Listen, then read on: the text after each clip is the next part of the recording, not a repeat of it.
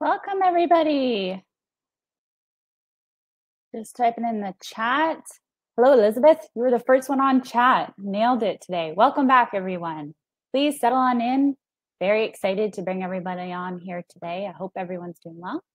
I know here in Ontario, we're starting to open the doors uh, for childcare. That was a bit of a been an up and down feeling, um, and we're starting to get back into the swing of things. Hopefully, patio season comes up within the summer.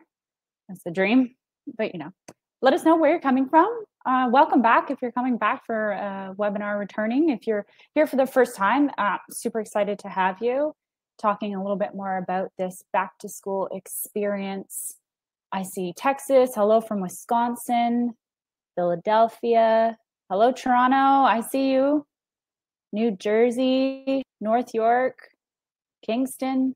I went to school in Kingston. Wild times. We won't talk about that. That's for a different time. Hello, Illinois. I see you. Welcome, everybody.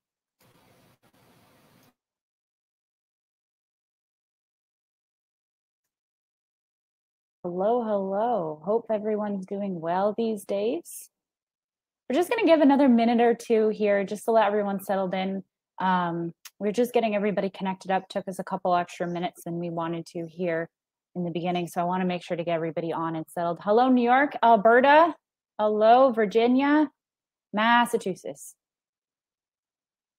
Wow, LA, the Ottawa area. Also went to school out that way. Went to Carleton. Beautiful city and freaking cold in the winter. Freaking cold. Brooklyn, New York. Hello. Yep, so everyone knows sunny, phenomenal day here in Toronto. Uh, I guess if you're anywhere on this part of that weather area for us. So I don't know if New York is getting similar weather. Usually we're not too far apart, but beautiful day today. If you haven't had a chance to get outside, please do. Take in some fresh air, hopefully not raining. I saw Kenya. Occasionally we get a couple of nice folks who've been joining us here from Kenya, from India, a couple from the Philippines, I'm sure. Tanzania, hello, hello. Maryland, I see you. All right, just a minute or so here, and then we will get started. Sunny in Ottawa. I know it's just just phenomenal. I hope everyone's doing well as we crawl back in to this beautiful back to school experience. Hello, Hollywood. Hollywood, West Hollywood, California. Shut the front door. Um, anyways, sorry, I got all caught up in the chat, guys. You guys are a lot of fun, I have to say. So, yeah, we're going to be talking the back to school experience. I know for many, many states, you know, you guys have been in the swing. You're either fully in swing of things now or you know some states never really closed up. Some states did have some period where they were closed up. And then of course here in ontario and across actually all of our provinces it's been a very very slow reopen. So um, i know bc being a little bit more fortunate than us here in ontario with case lawing um, then you know been a little bit open a little bit longer um, but at the end of the day super excited to get chatting with everybody here. So let's dive in. Like I said, settle on in. If you haven't had a chance, grab yourself a glass of water. It's a little early for an adult beverage, but you know, or if you're working, maybe just hold off another couple hours. We're almost there. Just kidding, guys. Let's dive in though. Have a little bit of fun with what's going on. Hello, Nashville. I see you there. If you haven't met us before, I'm Ria. I'm one of the early childhood educators here at HiMama. And I've been working in our I'm working our marketing team actually to be very very honest alongside my buddy here Carmen. Carmen is our community coordinator. If you've never seen Carmen she is usually at a conference. Hi. Carmen guys is the most beautiful person to work alongside with and carries a load on the back. She's going to be on chat say hello to her send her any messages any questions that you need help with she's here to help you as we go through so awesome as usual And our guests today, our guests of honor here, we, we're still having some small connection issues with Wanda, but I know we're going to get her on here. But we are bringing back Angela. Super excited to have you guys both on. So when you are, when we come on here, we're going to have a little bit further conversation with both of these lovely ladies. Angela is a returning guest, everybody. Phenomenal lady that we spoke to. I'm very excited to have Wanda on in a little bit as well, who's been very active in our Slack group So, and was super helpful with a couple of great things. So we wanted to bring her on and get some some key perspective and advice from her. So she may have gotten on here. May we're still working on it. Wanda, were you able to join up with us? We got your picture. We were having some some connection issues earlier with some voice and everything but we'll bring you back on for Q&A in a couple of minutes. Wanda, we can't quite hear you yet, but you're almost there.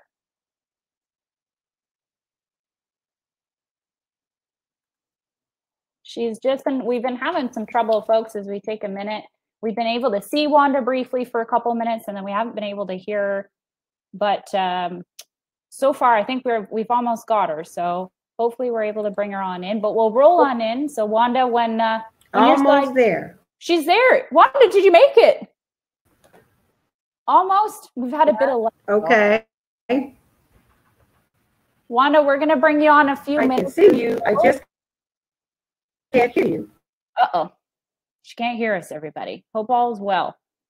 Um, Wanda, hmm we'll have Carmen working on the back end to help you out there, my dear.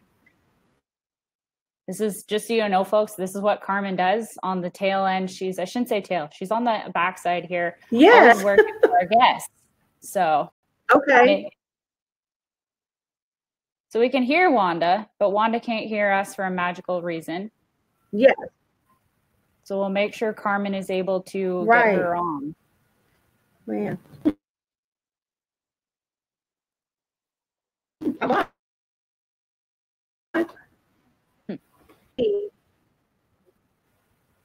This was a sort of connection issues we do well. So I can hear.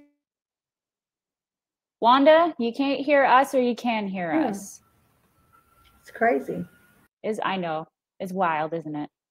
Oh, we'll bring her back.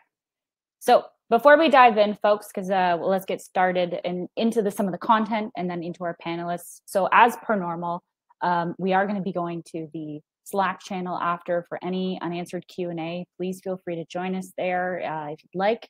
Um, and as well, we are um, going to be sending out the certificates after the um, webinar. Please stay tuned for the details. Carmen will get those all to you guys in a little bit. At the end here, we'll be giving out all the fine details. So not to fret, okay? If you get anything like chat saying it's frozen or anything like that, you can just refresh. Everything will refresh. And finally, if you feel like you dropped off or anything changed, then don't worry. We record all of this. We will send it out to you tomorrow with all of the show notes and any resources. So let's dive in some of the topics that we're going to touch today. A couple of just things we've been hearing on and off as um, as this is happening, as people have been opening up, as well as um, you know points of view that we've been getting. Just a couple of tidbits, and then we're going to jump in with our panelists. Uh, hopefully, we can bring Wanda on here and get her in. She's been using the guidelines specifically just the cdc guidelines and following those pretty closely. Um, and then as well talking about the reopening experience dealing with a case of covid. I know uh, angela dealt with that and I, I think that's a huge piece. I'd like to chat a little bit further with her about being back in the center so when we bring her on we'll go into there. Let's dive in though. Talk about a little bit more about that drop off and pickup so consensus wise these have been like the top key pieces that we've been seeing for the most part, a lot of centers are doing some sort of scheduled, staggered pickup and drop off with mom and dad. Um, you know, whether that be out in the parking lot, whether they're calling in, whether it's been a scheduled time. But those have been like the key things so far. This way, families don't congest anywhere. Okay. And this is like something too, I feel like we can see here in most of the provinces is they're recommending that, you know, parents not really go into the centers right now um, just to help maintain that safety zone for your staff, for your children there, as well as being able to, uh, you know, keep the spread down. Another cool thing that we found about a couple of our customers were telling us that those, for those centers that are allowed to have staff, uh, sorry, not staff, parents go in and out, they've actually kind of done something similar to what you've probably seen at the grocery store or seen in like your local shoppers or wherever, where they put put the arrows down, so you can only go in that direction.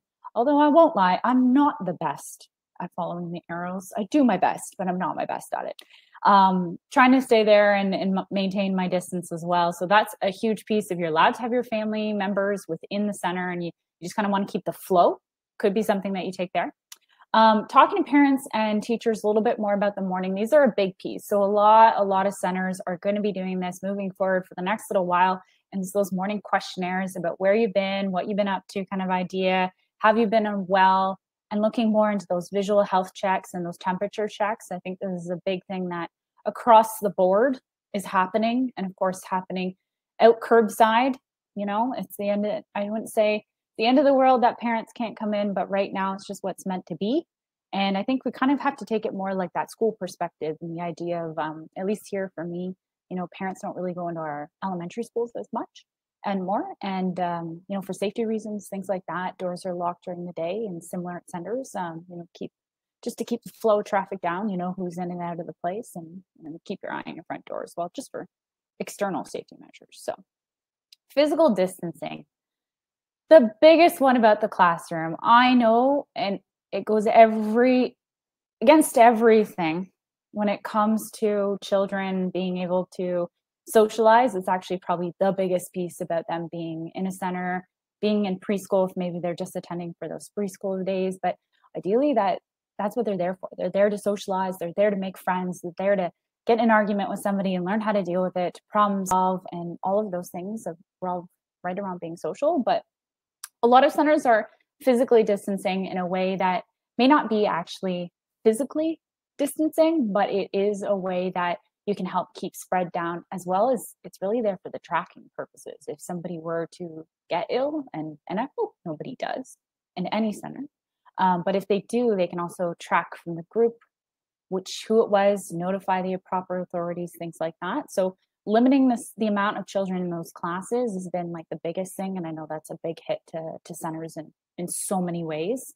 But by keeping those small groups right now and keeping those groups in their own bubbles you start to become your own family. Um, hit the playground at some scale you know staggering times as well and just trying to keep that mingling down with other groups. And i know that that's probably one of the coolest parts about being in on the playground uh, obviously depending on your size you can actually you know have those younger children age appropriately of course mix with some older children and uh, be able to learn a little bit from them and that's kind of a cool factor about being on the playground but at the same time right now just to keep those limits down. Um, we talked about this parents not being able to ask you know stay out of the center for right now. Of course if there's an emergency i, I would say pull that parent in at, at the cost that needs to be done but meal times this was one of the things that um, one of our fabulous reps here on our customer support team mentioned she got from a fabulous customer. Uh, Julie was saying that this particular customer shares a cafeteria space in a, in a sort of sense. And so what they've started doing is staggering some meal times this way. The groups are not mingling in this way. They're keeping their bubble and they're all having a good time in that sense. So just a couple of tips there. The cleaning one, my favorite. My mother would be so, so, so, so happy um, cleaner, just a cleaner. Anyway, so ideally here for you guys, lots of extra cleaning. And it, it's definitely going to become part of your day-to-day routine. So yes we do cleaning on a day-to-day basis um, at every center you know it, the floors get cleaned daily you know bathrooms get cleaned daily. Upping these usage right now you're going to be looking at some more toy cleaning on top of the toy cleaning you're probably doing already but more frequently and more frequently those um, like well-touched surfaces, which is an entire classroom. It's hard. It's going to be a hard job. I won't lie on that side. And then, of course, just making sure to wash your hands. And I think that whole washing your hand routine is going to turn into part of that slowing the spread as well. And uh, just making sure to incorporate that in your day to day routine when you're starting to write those up, write those policies up, things like that. So, everybody going well so far? I see, Raylene, you guys are doing a two to eight mixed race age ratio. Very cool. So many cool things are happening. Set up those children for the biggest success. This is the big part here. So a lot of centers, honestly, it depends on what state you're in, which province you're in when it comes to this PPP things. Many centers are doing uh, full PPP or at least masks at pickup and drop off um, or the barrier system at that point. Um, but help help make it a little easier, especially if you haven't quite reopened yet or you're still going through the process. Then I would say, if anything, to welcome your students back, start maybe make a video. And one of the cool things I actually saw here in Toronto was a center that was doing masks, of course, and they decided to take a picture of themselves without the mask. They had it put on a button, and then they had that button and they wore that button. So it was a nice big smile. And then this way, the mask covered up their faces, helped protect them at that time, help protect their families, especially at those drop off and pickup times. But just being able to see see that teacher or that person that you're with all the time and knowing that under that mask is them, it's just like a nice little piece to bring them in. Um, and then one of the other cool things, you know, I would say at the end of the day, of course, if a child is crying, if a child wants a hug, it's going to be at the end of the day your you and your center's decision to do so. If you um, if if a child is crying, I personally say hug. That's, that's my instincts. But if you know, if welcome, maybe start with like a dance routine of some kind. This way, they feel like they still have that good connection with you. You still have their good connection with them, but at the same time as well, just keeping that low, you know, amount of physical contact down. And then if you need to go further with creating specific dance maybe per child like these are just a couple great suggestions guys so it just depends on where you're going what you're doing i see rita here is everyone washing linens every day. So i think that also depends on which state and which um, province you're in. Some are requiring every day. Some are saying once a week. Some are sending home to families. It is just really going to depend on your location as well. Maybe too if everyone has questions about those guys there is i would say check with your local health unit as well.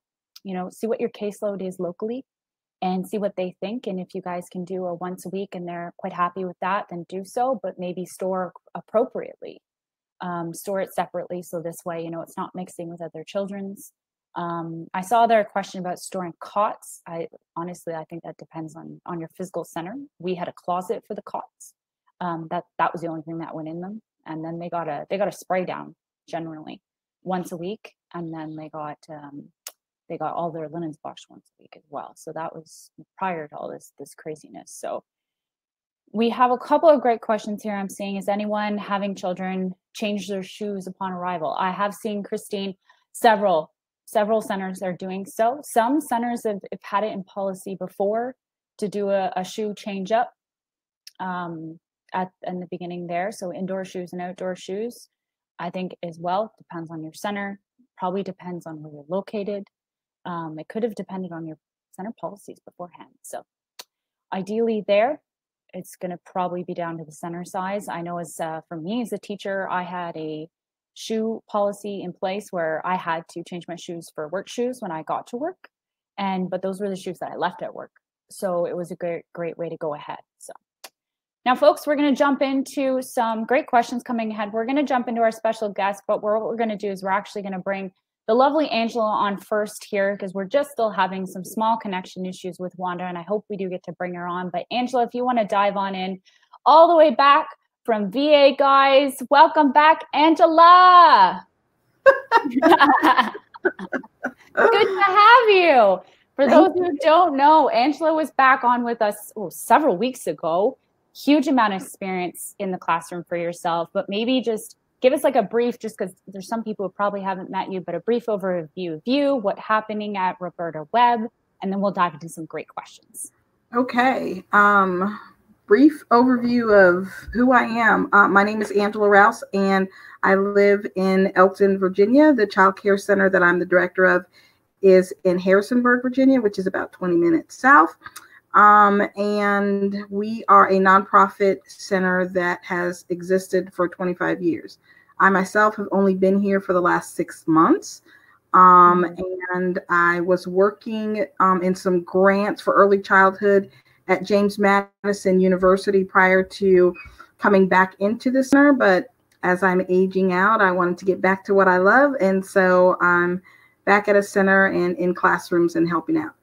Um, so that's just a little bit about me and our center. Our capacity here uh, prior to COVID was only 60 children, and um, we are now um, at our capacity, which is 28.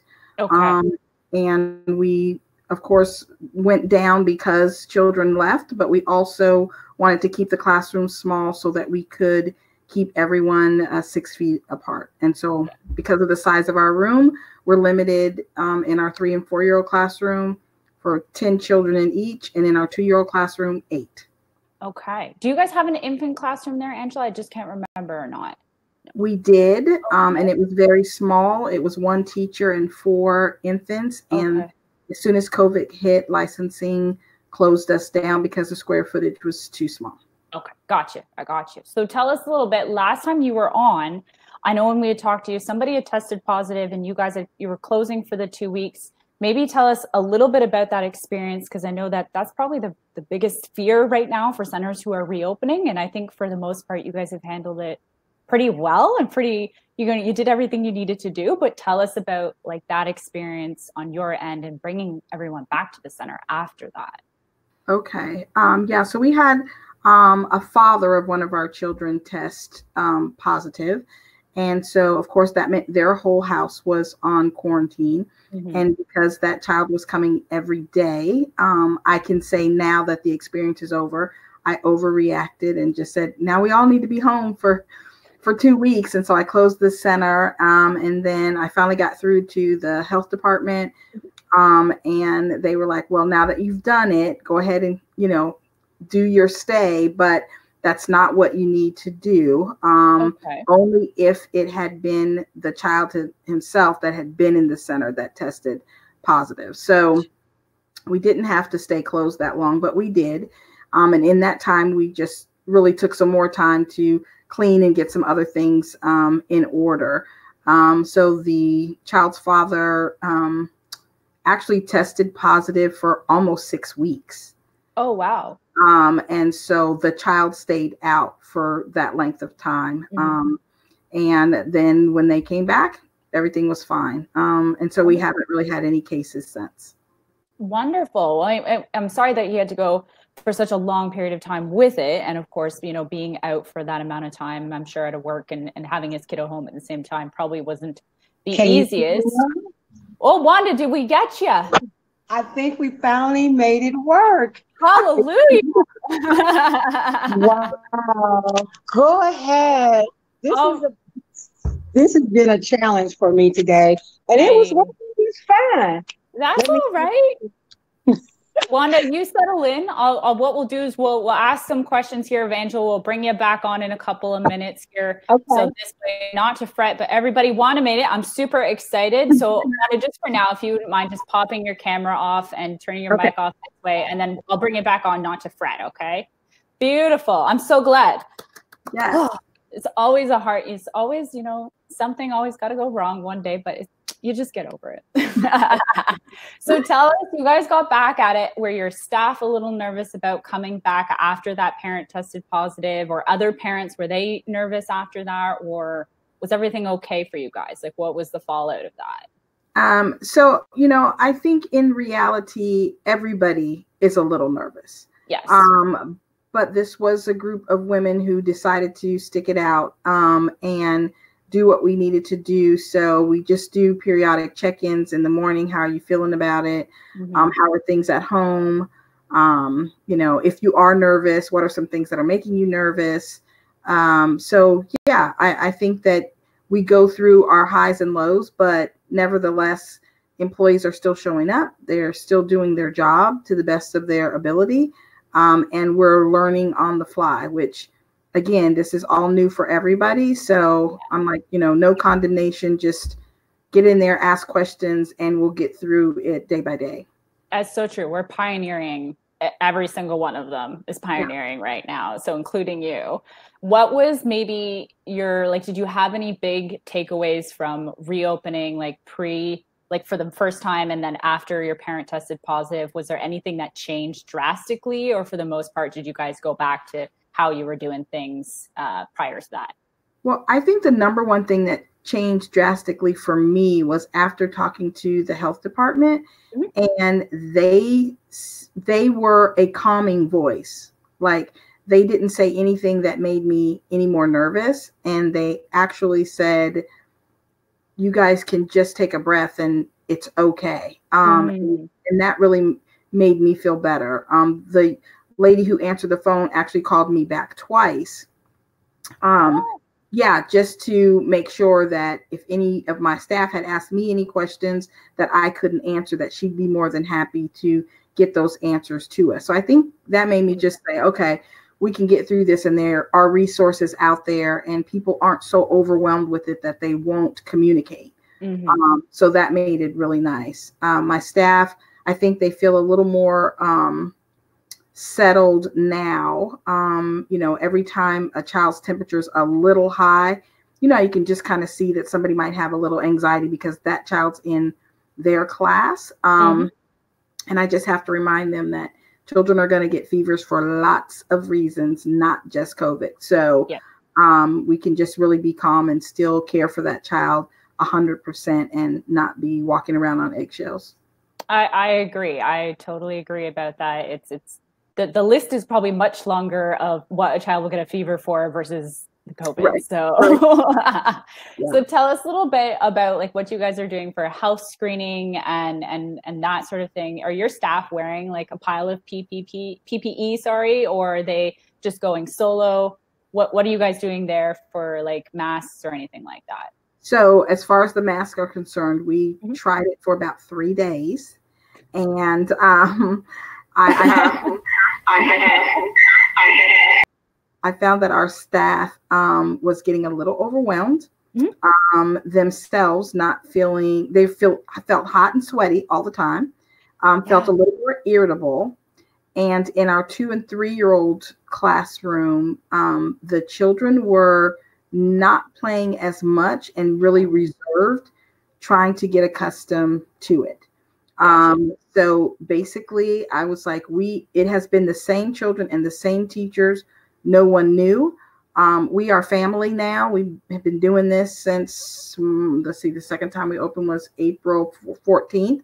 Yep. I'm like, we're good. It's just like being at home. And so let's get rid of the mask. And quickly things went back to normal. So um, our board was okay with it. And we just feel that we're doing the best that we can. And we added that that one little extra thing and things kind of really went haywire. So I was like, I, I, no, I'm not doing this. I wear it to the grocery store and I've had enough, and that's like an hour. I can't Yeah. imagine chasing a three year old and and Yeah. having that. So Right. Right. awesome. Well, how about this? I want to share a couple of great pictures. So Angela was amazing. Everybody, these are from her center. Walk us through. I know you guys were doing some pods last time before before you had closed the first time there. Um, walk us through some of these pictures and tell us a little bit more about your setup. I love this picture of your staff member. I really want her shoes. Um, I get attracted to colored shoes, guys. Like, don't don't freak out. But tell us about what's going on here and how the kiddos look like they're having a great time. Okay. Um, so yeah, so we have gone from our staff does not wear any of their regular clothing from home. Okay. Everyone wears scrubs, and they are scrubs that we purchased. We bought them three sets each. Mhm. Um, of course, their wardrobe has grown um, because they are enjoying it, um, and so we also wear like a scrub jacket, like I have on. Um, Okay.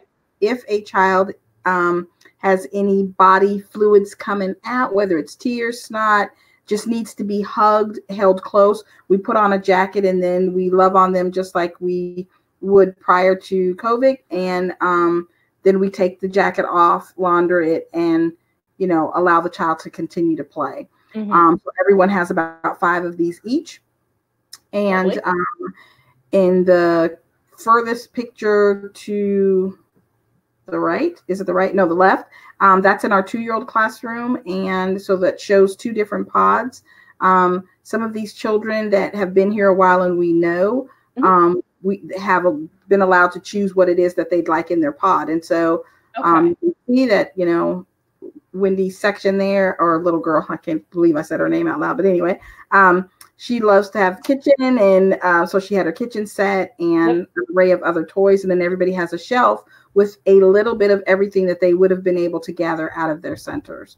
Um, Okay. The other classroom picture is of a four-year-old's pod, and they actually have a family family picture, their name. Um, oh. yeah, all kinds of things to write with, their own paints, building materials, and then you'll notice the little carpet square, and that's what they bring to the corner um, if it's going to be a morning meeting or some sort of song or whatever, so that they can all be at the corner of their squares to to hear what's going on or any instruction from their teacher. Gotcha. Um, and then yeah, so um, you can see the one picture with the child on the floor. They they just have their own space, and and it really has been nice. Um, in our two year old room, where we thought we would have a little pushback as far Yeah. as being able to stay in their square. Um, I have been saying that I think two year olds for a long time have been wanting just this their own space, their own stuff, and nobody to have to bother them. So they're thinking in their mind, you guys finally got it together.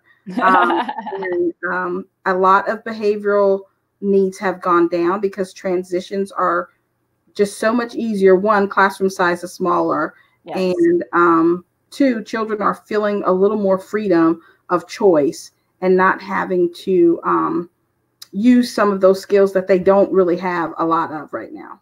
Yeah, that's true. You can work on those when hopefully when things get back to the uh, regular. But.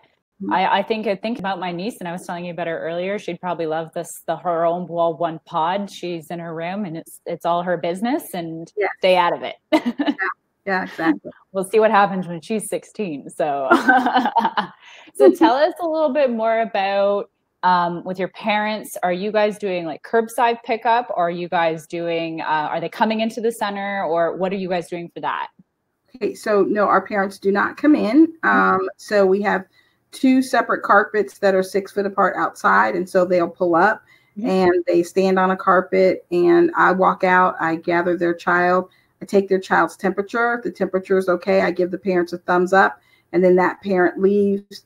One of our floaters comes down the hallway, retrieves the child, and takes the child to the bathroom, washes hands, escorts them to their um, classroom and then we do it all over again. The next parent is then on the carpet waiting. lovely. Guys are nailing it do you have any i want to bring wanda on in a couple of minutes here but do you have any like words of encouragement or advice or maybe even just something you've learned over the last couple of weeks after reopening that you'd like to share with everybody Well, I think the biggest lesson learned was, um, you know, bring children back in a small number Mhm. so that um, you and your staff can get acclimated to all of the extra cleaning. I think, Okay. you know, a lot of times as childcare providers, we feel like, you know, we're on our game. We've been doing this a long time and we really have some great cleaning skills and process. And we really realized how much we weren't Mhm. because now it's on the forefront and that's that number one thing that we are doing and it is time consuming if you are doing it the right way it's going to take a lot of time so um, you know if you can start off with you know smaller numbers then do that so that your staff is not overwhelmed with all the extra things you're asking them to do for the environment and the children mm-hmm. at the same time Lovely. All right, Miss Angela, hang tight for a few minutes while we bring Wanda on. I'm going to back up, but for Q&A, come on back. We'll have some great questions for you. So I'm going to kick you off and then I'm going to do some backup here, folks, and bring on Miss Wanda. If you'd like to turn on your camera here again and your, your mic and welcome. Well, well, hello. I'm, I'm just excited to be on. It it was a trying time there for a moment. It's okay. Perseverance, like every educator, perseverance. Yeah, That's what it takes. That's exactly what it takes. Perseverance all the time. That's all good. Wanda, this is your first time on with us. We met you through our Yeah. Slack group, but tell us a little bit Yeah. about heart to heart. Tell us a little bit about you. Take a few minutes and we'll dive into some great questions here. Okay, well, Heart to Heart has been around since 1969. It started as a small in-home daycare center by my mom, Shirley Buchanan, and uh, we grew and we kept growing, and so we built a larger facility in 1994, and we've been here since then. We also expanded and opened a second facility in 2000. So, Whoa. we have- so we have been through it all. All yeah. the all the changes in Nashville, Tennessee, all the good things, the bad things, but most of all, we've survived because we have a passion for helping families and loving on children and helping them grow and meet their developmental growth so they're ready to go to school. So um, this facility where I'm at now, um, since COVID, we did have to close one of our facilities, and we're Okay. okay with that. But we Hey, were yeah. okay with that uh, because we knew that it was going to take a lot to run both facilities and deal with the COVID virus. but overall, we at this facility we have 55 uh, students. Uh, Oh. capacity. That's the capacity of the facility. Okay. And currently, we're serving about 25 wonderful students here. And so, uh, you know, we're saddened that we had to let some of them go, Mhm. but we we still stay in contact with the with our uh, with the children. We have currently about three generations that have been through our facilities. oh my. Yeah, so Hey, we we bring them back, eh? so that's and that's a little bit unique. So we have, you know, children of children of children's of children. Get- hey, you want to know what though? Like you said, like you Mhm. guys built it up from from like your your mom's home daycare to this. Like Mhm. clearly your passion is there, and that's clearly driving your business. And of course, the, Right. I'm sure your teachers and that are phenomenal. Mhm. Let's talk a little bit, Wanda. I know you've been chatting a lot about you know using the CDC guidelines, and that's that's really been where your bread and butter has been over the last couple of weeks as well with the openings and stuff. When when did you guys reopen? And tell us about any resources as well besides the CDC guidelines that you use to get everything up and going. Well, we we were open up until April the 15th. Okay. And we were the state required that we shut down for 14 days. Mhm. And we were like, good, we needed it. I could tell that the teachers were getting a little antsy. They were getting, Yeah. you know, a little scared. There was some fear setting in, some anxiety setting in. So I said, okay, let's close for the 14 days. Let's regroup. I'd already reached out to the CDC prior to uh, April, uh, before April, and received some information on the guidelines. And from my background being a microbiologist, and I already knew that in order to stop something, you have to stop it at the door. You can't let it come in. So, you know, we already, as, as well as in early learning, you already know the procedures of cleaning and sanitizing and disinfecting. So we just stepped up that a little bit by looking at the guidelines that the CDC had required us to go by. Kind of take took one step at a time. The teachers and I, that we all got together. We discussed, you know, what their fears were. We discussed what some of the parents' concerns would be, Mhm. as well as what their what they, you know because it's their children. So we just wanted to make sure that we were meeting the needs of the families when they want to return, as well as the teachers that wanted to return. We maintained all of our staff here, so that was good. So we use the CDC as a as our base. Okay. Then we reached out to our local health department Mhm. um, as well. And here at Heart to Heart, we already had an advisory board here on staff, which is made up of parents and outside community resources. okay. So we reached out to them as well to come together with us as we got ready to reopen. And so we looked at all the demographics and the changes that we would have to make in the environment here, and which was very little. But going forward, we made a lot of small changes, but they were worth the changes that we that we, we had the time to do that. Yeah. I love Mhm. that. I love that putting your your microbiologist hat on, not my Mhm. forte, I won't lie. Um, putting that hat on and being able to do that and actually reach into your into your resource pocket and be able to. I'm hearing the health unit just for anybody else. This seems to be an upcoming theme. If you haven't talked to your health unit, probably a good idea from both two people here. Tell us a little bit more about your like health screening procedure, your safety procedures that you guys have put in place. Mhm. Um, and are, are your staff wearing PPE? Um, Mhm. Tell us a little bit more about that experience as well, and masks, of course. That's that's always the big question. Yes, I know the mask is a very big question. Well, well, we started, well, like I said, we started first, we started outside the door.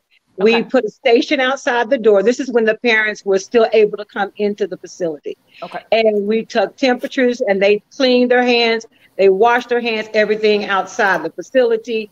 Coming into the facility, then they would wash their hands. Then we changed to a drop off, pickup outside. We did everything outside with the parents. They didn't get out, they don't get out of their car. They pull up, we greet them, we take their temp, we take the children's temp, we document that, they sign off on that. Then they come into the building, we bring the children into the building, escort them in. wash their hands before they go into their classroom. Then they enter their classroom with that teacher. We have all the teachers are stationary in their classroom. So myself, you know, the director does a lot of things. so, you know, we have we wear a lot of hats. So myself oh. and another teacher who's used to drop off pickup, she's an educator in the public school system. Okay. So she you know, she had that go with all, I know what to do. I know how to get them out of the car. You know, you have to use your teacher's talents, the best talent to pick the best part of the program. So she was excellent in doing that. So her and I, when we got together, talked about what we need to do. We had our clipboard, we had our mask on and everything. And so we did a great job, you know, with oh. all of getting the kids in and getting them out of the car safely and get them in the classroom. Then um, from that point, we installed temperature taking, of course. Instead of just taking it once a day when they get out of the car, we would take it midday and then we would take it upon them getting ready to leave the facility.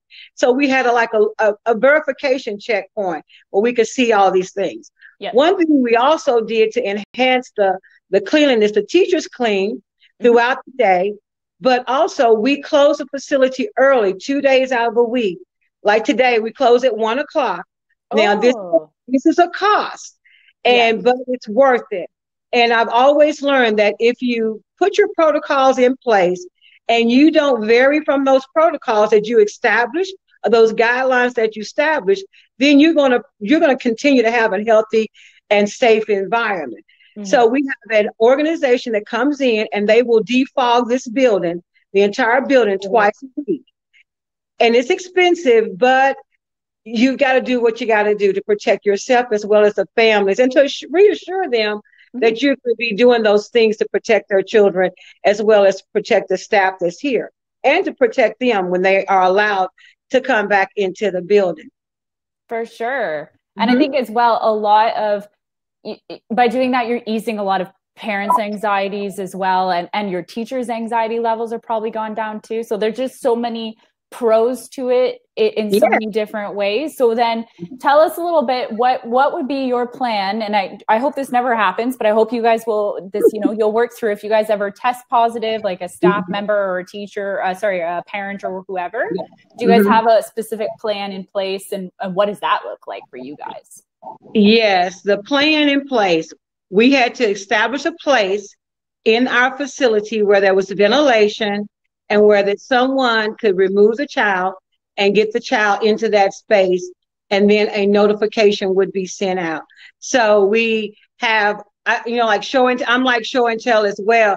We have our every teacher has this pppe equipment yep. where they have their gown they have a face shield and they have a mask in their classroom and if any child exemplifies those type of that kind of symptom, then they will dress themselves, bring the child to the space that we have. Mm-hmm. Then I put on my PPE gown, mask, and shield, and I will wait until that parent arrives to the facility to pick up the child. Mm-hmm. We then notify all the parents that these are the symptoms that we have no that we know. The yeah. child then goes, the parent is told to take the child to their primary care physician mm-hmm. and have that child checked and have that child checked out. Yeah. So then after that, then after that, then we do the notification that is sent to the parents as well. And then the parents, what they'll do is they will contact us and we will let them know that what the what the outcome was of that child. It could be a cold, but we don't know nowadays. So you know, yeah. it's kind of hard now because of these symptoms, we have to take every symptom as though it may be a COVID symptom. Yeah. That their child may have the COVID virus. So we're better safe than sorry. Then we actually clean that classroom. The entire building gets cleaned again, and then we reopen back up. All right. mm-hmm. Quick question for you going back to you guys closing early. Um, mm-hmm. Gina's been asking, did you get any pushbacks from your parents about closing early two days a week, or were they more than happy to allow that to happen? Our parents were more than happy right. to allow that. One thing I think that that allowed the parents to buy into this new norm mm. was that we had a meeting prior to us reopening back up. And I guess we dispelled all the myths, we dispelled all the fear, and we reassured them that we're here to make sure that while you are an essential worker or you have to work, we're going to be here to take care of your child. It's just like our typical day to day routine prior to COVID. We're here to care for your child, to keep your child safe, to keep your child healthy, and to make sure your, ha- your child has a great learning experience while they're here. Wanda, I think you nailed it in every shape and form there. Mm-hmm. Before we jump into open Q&A, do you have any words of encouragement or advice that you want to pass on to everybody listening? I know everyone's all ears because there's like nobody on the chat box. So Well, I would just like to let everybody know that from from being in this business for a very long time is that we have to take one day at a time. Don't try to be overwhelmed. This can overwhelm you, mm. but you have to maintain your health. You have to make sure you take care of yourself going forward. Make sure you let the parents know that their children need to be taken care of. They need to be have they need to have proper sleep. They need to have healthy meals. They need to have a clean environment on both sides of the table. Yeah. Uh, you know, work together to make your environment the best place for your child to grow. So we want to make sure that that's what we're doing here. And going forward as teachers, take care of yourself, be positive, read mm. positive material, because this can really depress you, in so to speak. You know, if you say, "Oh my goodness, I didn't want that child to get COVID while they were coming here in the environment," so you know, you can go through a depressing state. So just want to make sure that you know, make your environment the best place for the child to grow and develop as we go through this COVID time, and continue to do that with a positive attitude. And uh, about the mask, I know about the mask. We made these shirts. I don't I don't know if you can see it. Hold it up a little higher, Wanda. Oh my goodness, stop. So this is the shirt, and we we're using this as a fundraiser. And the no. parent gets yes, the parent gets a shirt and they get a mask. And these masks have like the cars on it, they have Mickey Mouse on them. So we asked the pre-K students, what is one of your favorite characters that you would like to see on a mask? So when we put these shirts on, we wear them every day. So we put we have a set of them for each teacher, and they're different colors. So we said we'll use it as a fundraiser to go toward our PPE materials hey. that we need to have. So the parents were excited about it. That's fantastic. And I, and I want to let you guys know that we do everything through HiMama, all the communication, all of our notices, we use HiMama as our platform, and it is a great tool.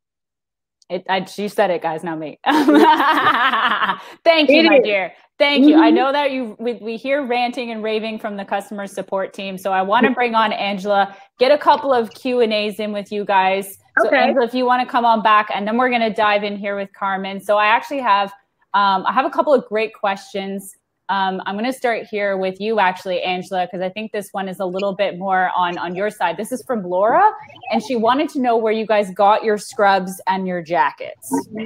Oh, Angela, did we um, lose you? Um, can you hear me? I can hear you. We just can't see you. You've disappeared. Okay. That's all um, good. There she is. There she is. Um, so we went to our local Roses, which is right around the corner you know, I, I think we probably spent fifty dollars on each on each employee, but it was well worth it. I love it. I love it. I might have to uh might have to get myself some scrubs, guys. Now they look comfy, and I like your shirt idea. All right, well, I have a great question here for you, um, because you're you coming from like a, a, a, fairly large, having the two facilities. Uh, Shirley's asking. She's saying that her facility is 200 or more students? And mm-hmm. with at least 20 students in a classroom, do you have any suggestions on how to like separate them about how to like maybe move them around? I know mm-hmm. coming from that big center, that's not really easy dividing up those kiddos in those spaces, but well, one thing about the facility, you have to take a look at your classroom size. And course, you know, the CDC stated that they would like for us to try to do 10 or less in a group setting. And in this facility, as well as our other facility, we had seven or eight classrooms. So what we did was the children, we we used every classroom and we Okay. moved everything out of the classroom and then we made actual bins for the children. So Mm-hmm. for example, the pre-K classroom, they have it's just like Miss Angela did. They have individual learning centers where they can choose to go and re- get their learning centers. And then, of course, they have little notes for the teachers to kind of keep them on track as Mm-hmm. to the things that they're going to be learning during the 10 Ls. If, if they're doing the standards, of course, they have little key notes. And I Mm-hmm. have an example of one. So let me show it to you right quick. I love visual learning. You Okay, ladies I nailed it. Now I'm holding up this. And so with Oh, facility, we took these little bins. See if I can see. yeah. And these are listening and talking. And inside, now each child has one. And then inside the bins, you can see, we have little telephones, a little book, a little, and it's all for that child. Little Yeah. different things. And this is also can be used in your two-year-old classroom as mm-hmm. well. So they go over and they'll get these bins, and then the teacher will sit down, and it has like listening and talking, language development, small group, teacher director, or it can be done individually if it's a three-year-old. So this kind of helps your teachers stay focused too, as what they're wanting to teach and the children and what they need to learn while they're using this, and of course a lot of language development. Then I have one that shows the manipulative area because you know they love to go in the manipulative area Yep. and it has sequencing in here, little beads. Everything's been put in plastic. And then it has a little game, of course, with the numbers on it as well. And then they can use this and they can set the table, or the teacher can actually set six feet apart mm. and for a distance, and she can encourage the child, ask those pertinent questions of how they how they're learning their math concepts. So with her having that large of a space in the classroom, then you yeah. you have to foster or design your space so that the children can be in a space where it's comfortable for them and also be able to use the tools that they have in that classroom. So what we did was we just took and said, okay, we're going to have 50 kids here today. We have eight classrooms. We're going to, so that means, hey, we can have seven children in a classroom approximately. And we did that. And so we, and the same thing in our other facility, in our 55 facility, we did the exact same thing. We had four, we have four classrooms and we divided. We got 25 kids. So we said we got six kids plus one in one extra classroom. So we're able to do that. Yes, now financially, from a financial background, that it, that's something that you really have to be careful with Of course. you know but the state of tennessee I, I really appreciated our state because not only did the they had we had a essential worker funding program here with no income eligibility Okay. so those parents that were working essential workers that the income threshold would allow them not to be funded they were able to be funded so that helped our business tremendously Mhm. Very good. I'm. I kind of feel like one. Did you like? Did you two have like a conversation before this? And because your centers are like not similar, but not. I'm. It's joking. I'm joking. I'm gonna do this one last question. I'm gonna a- a- aim at you, Angela. But if Wanda, if you want to jump in after, I'd be more than happy. This is a, a big question, especially with two-year-olds and them learning to to socialize and about how crucial that is. So this is from Haley, and her question is: How will toddlers learn the crucial social skills if they cannot interact with one another and practice sharing and taking turns? I know that you, Angela, you were saying about how a lot of behaviors went went downhill, which was great because you know maybe a little less crying in the toddler room, but it doesn't matter. No matter when, they're always crying. Um, but ideally, like what what ways maybe would you be fostering some of those skills in a time when, of course, sharing shouldn't really be happening right now? Well, I think a lot more of it is happening with the teacher and the child versus the child and the Mm. child. So there, it's being modeled by the adult in the room. Um, but when our two-year-olds go outside, they have their own fenced area, um, and so a lot of that is happening in that space. Um, Got you. did not separate their square footage outside into six foot areas for them to be alone. And so outside in the fresh air, they are able to talk and laugh and play ring around the rosies and do all of the things they need to do together. And now that it's summer, a lot more time is being spent outside yeah. together. Mm-hmm. Heck yeah, I'd love to be. I'd love to do this on the balcony, but I'm pretty sure my boss would be like, "Okay, no, no, no, no, no." Um, Wanda, do you want to add anything to that here um, about you guys and what you guys are doing at your facility for that? Well, I know that social development is a, is key, and toddlers they are learning how to share and how to get along with one another. So I we what we did, we reflected back on how we do infants when they when it's time for them to learn how to parallel play and you put them beside each other. We actually spaced out six feet out on our play yard. And what we did, we set up, we were a little bit proactive, setting up different centers on the play yard. And yeah. so the children could come, but we make sure that they don't necessarily, when it's six feet, outside space, the air is moving, so they're not breathing and they're not yep. contacting right on each other, mm-hmm. on top of each other. When they're inside the environment, that's when the envi- that's when the transmission, yes. if they're not wearing masks, is more dangerous, we would say.